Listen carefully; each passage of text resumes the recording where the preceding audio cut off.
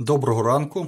Сьогодні хотів би розповісти про вузькоспеціальну книгу, е, яка видається Міжнародною торговою палатою, що розташована у місті Париж. Книга ця називається Incoterms 2010.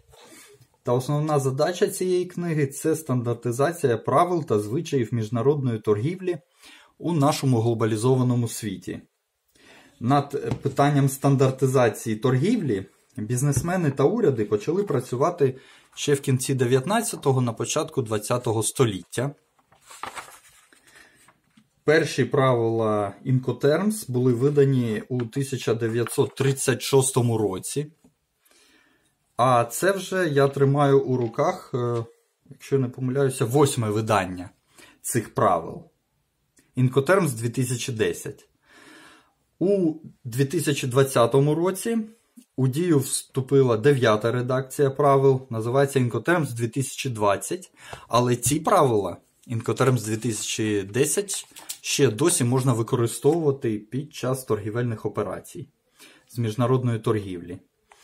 Отже, книжка ця двомовна, тобто тут розміщений англомовний оригінал тексту, що затверджений е, Міжнародною торговою палатою а також ідентичний йому текст, е, що перекладений українською мовою. Тут ви можете бачити.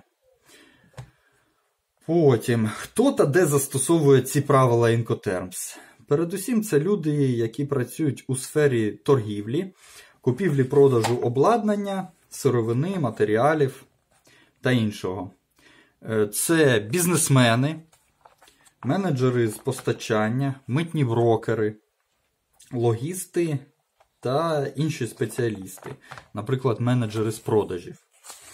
Е, продавці та покупці вони можуть знаходитися у різних країнах, у різних культурах і по-різному розуміти свої завдання, зобов'язання, а також перехід е, витрат та ризиків під час здійснення е, міжнародних торгових операцій.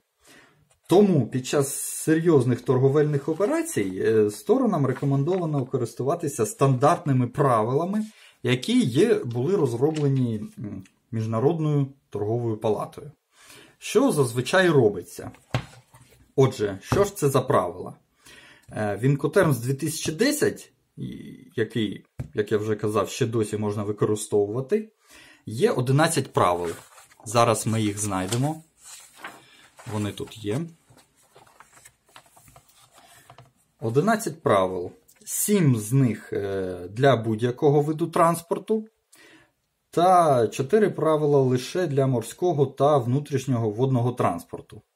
Шифруються ці правила трьома англійськими літерами, як ви бачите. Це XWorks, FCA Free Carrier, е, CPT carriage paid to CIP, е, тобто carriage and insurance paid to е, DAT, delivered at terminal, DAP, delivered at place, and е, DDP, delivered duty paid. Це були правила, як я вже казав, для будь-якого виду транспорту. Ну, а є ще правила для морського та річкового транспорту. Це FAS, Free Alongside Ship, Free on Board, FOB, CFR Cost and Freight та CIF Cost Insurance, Insurance and Freight. Докладно пояснювати значення кожного правила це буде дуже довго. Е, той, хто цікавиться, той може знайти додаткову інформацію в інтернеті. Або написати мені в коментарях, я можу розповісти більш детально. Е, я маю досвід використання цих правил при постачанні товарів з Європи та СНД. Здебільшого при цьому використовується або автомобільний транспорт, або служби кур'єрської доставки.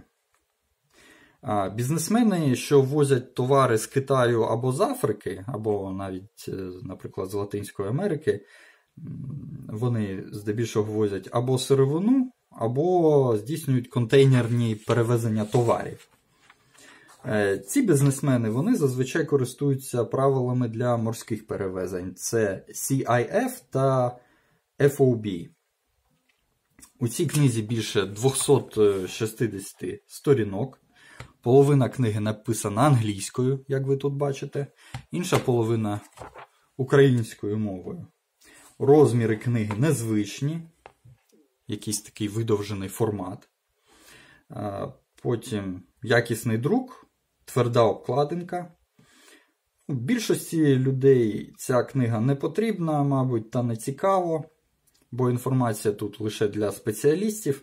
Але якщо вам цікаво, то ви можете поцікавитися в інтернеті або написати в коментарях ваші питання, і я б міг би розказати більш докладніше.